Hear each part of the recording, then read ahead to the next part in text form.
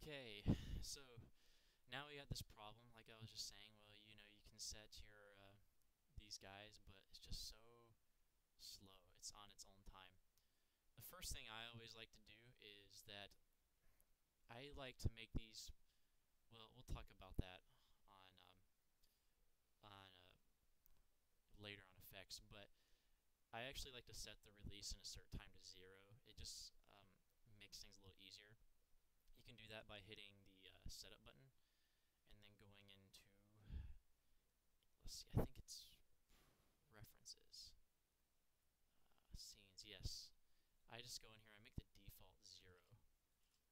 Uh, it won't make it automatically because you, I really should have done this from the beginning. I should have showed you that. Uh, let's see, is it? Yeah, it's still like super slow. What it does, well, I think I can even open these guys up, hit options, and use defaults, zeros and zeros. Um, it'll make sense later on um, why that is, but I always set that to zeros because the timing I'm about to show you uh, will flow better. In fact, let's go ahead and do that right now. Um,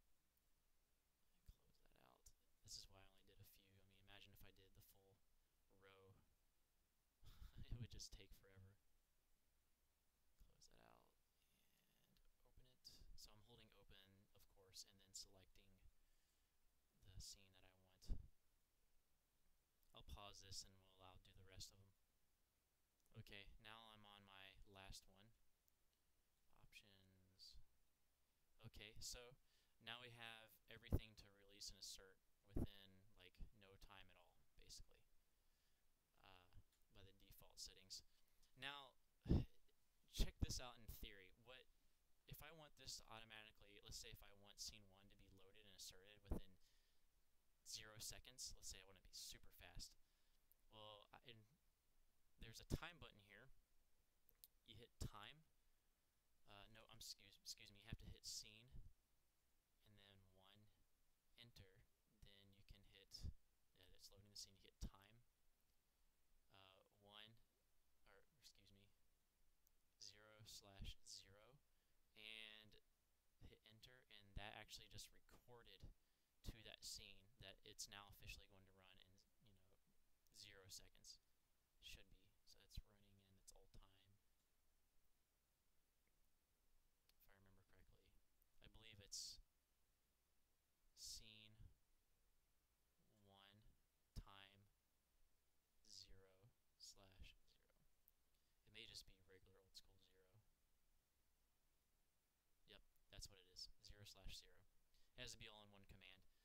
Uh, you know, and let's say if I want scene 2 to do that, scene 2 time 0 slash 0.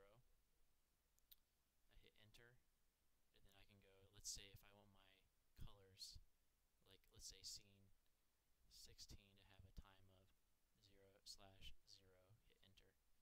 Then I can run these scenes typing in, you know, scene 2 and scene 16 and oops scene 2 plus scene 16 enter is it going to run no it's not okay if we get the idea you'll see how quickly it all moved like I couldn't even get the mouse back soon enough so now uh, we have this problem like well that's a lot to type in well remember the macros lesson that I did now you're seeing why I gave it to you it seemed maybe a little arbitrary at the moment but now it'll make total sense um, Oh, so I'm going to double tap my macros. Uh, leave the guard button on for this. I'm going to move this uh, over here. Now, check this out. This is going to take me a minute to describe this. Now, you don't want to, I'm going to move my mouse around here, you don't want to, uh, you have to select each one individually. If I did enough scenes and colors and gobos, I could literally go scene 1 through 20, or 1 through 30, and it'll just, and time, 0 slash 0 and just knock all that out. Um, but you can't do, I can do 1 through 5, but I can't quite do 1 through 20 because of all these blank ones. You have to include, you, you can only use scenes that are in, that are have been recorded to, or else it, the command will not work. So what I'm first going to do, I'm going to uh, set it up so I can record a scene. So by doing that, I'm going to hit record macro 1. And now as you see the macro buttons lit up in red, that means, and, and this guy's lit up in red as well, it means it's recording everything I'm doing. So like I said, we want the command to be scene, uh, typing in and down here at the bottom, scene 1 through 5. 1 through 5 plus scene 16 through 20, 16 through 20 plus scene 31 through 32 plus scene 35. That's that gobo release scene plus scene 35. Enter. Ah, I screwed up. Let's hit pig macro and we'll end that. I'm going to have to delete that. Hold down delete, hit that. Guard. Uh, hit undo the guard. Hit that. Hit the guard button again so I can edit it later. Okay, record macro that guy. So let's try that again. Uh, hopefully it'll drive it in the more times I do it. Scene 1 through 5 um, plus scene 16 through 20 plus, uh, oops, plus scene 31 through 32 plus scene 35 for that last one. This is where I screwed up. Hit the time button over here, time, you see it in the command line now, then 0 slash 0, then hit enter. And then hold down pig and macro. And we are done recording here. And then you hit open macro. Oops. Yeah open macro. And there's all the commands that we typed in. Now the, it saved it in the speed like like I've showed before that the speed that we typed it in. So of course you want to clear all these out um, set them to zero seconds um, actually let's set them to uh, was it I think what I've learned in the past, the best is 0.5. And we want we want to set the duration all of these down to zero. Set zero. I, I think I might have to go through and just do this all manually. Or set zero. Yep, there we go. Like I said, empty spaces, it does not like it. Set zero. There we go and there is every command that we typed in. Uh, don't do the recall view. Uh, hit the delete button for that guy, or delete. Hold down delete. Select that. Yeah.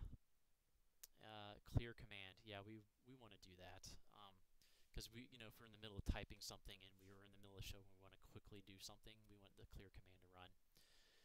So done with that.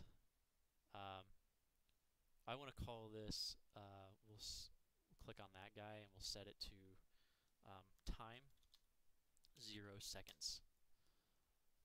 And hit clear, and then we'll undo the guard, so that way when I click it, it'll run it. Now, if you can, when you click it, you'll see all this fill up. In fact, I'm going to type in macro 1, enter. It just typed all that in for me. And now all my times are super fast. Oh, my demo of capture just gave out. That's okay. But you're getting the idea, hopefully. It's just uh, you'll see that it's now switching over everything over in a very quick rate. Now, what I do from here, how much time do I have left? Okay, I have enough time. I would actually, I hit guard again. I type in, select that, and I hit copy on my controller copy, and then I select over here. And then I hit open, hold down open, and it opens it up. And guess what? You can go, it's got all your commands in there, and I can type in double click my, there's my 0 slash 0, and I want this to be 1 second instead of 0 seconds. So there's my 1, double click on the 0 and set that to 1 as well. Bam. There's 1 slash 1. Is you're probably getting the pattern now. Okay, now hit set. Uh, let's see, time, 1 second. Then you can do that here. Move here.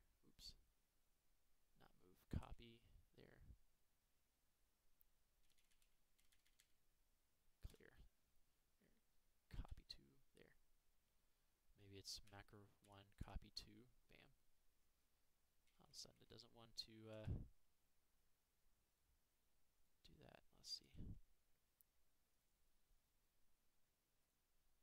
Clear. You're getting the idea. What you do is that you can go through as many sec uh, seconds as I do. I usually go up to about six seconds. It's typically it, um, about six seconds, and that takes care of all your needs. Now, what I'm going to do, I'm going to stop this. I'm going to finish it out, restart my my uh, demo of capture because I ran out of time, and I'll show you effects or uh, yeah, show you a little bit of this and go into effects.